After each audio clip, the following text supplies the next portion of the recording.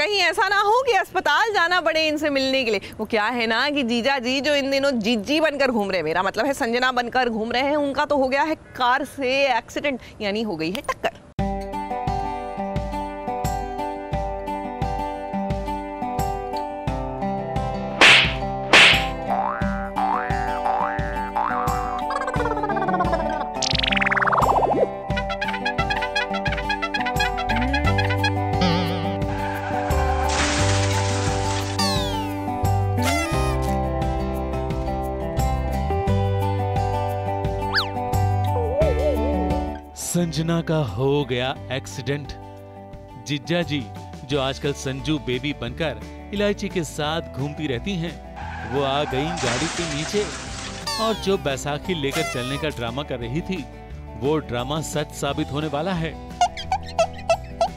अब किसी और के सहारे चलने की नौबत आ गई है। और ये सब हुआ छटंकी मामा के कारण, क्योंकि ये छटंकी है जो संजना का पीछा ही नहीं छोड़ रहे हैं। देखिए, एक बात बताना चाहता हूँ कि छटंकी की ज़िंदगी में अभी तक कोई अच्छी लड़की आई नहीं।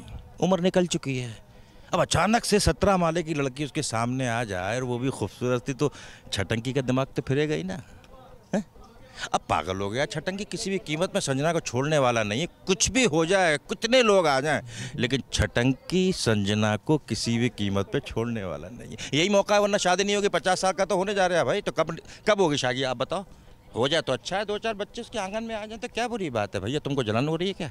संजना तो इलायची के साथ बाहर मार्केट में घूमने आई थी और यहाँ चाट खाते हुए इलायची को मिर्ची लगी तो वो पानी की बोतल खरीदने पहुँच गई और फिर यहाँ आ पहुँचे छटंकी मामा, जो संजना को परेशान करने लगे। संजना पीछा छुड़ाने की कोशिश कर रही थी, मगर छटंकी कहाँ छोड़ने वाला है? वो तो एक्सीडेंट के बाद भी संजना के चेहरे पर गुलाब का फूल घुमाकर अपने प्यार का इजहार किए जा रहे थे। वो तो अच्छा हुआ कि पुलिस वाले आए और इस कैदी के भेस में खुले घूम रहे छटंकी मामा को ले गए।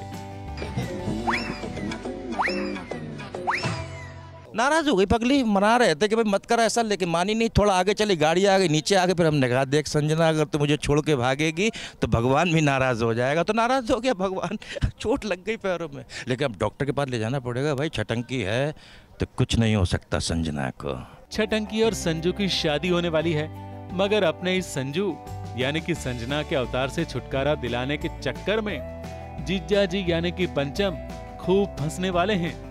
जरा देखिए कैसे। ABP news report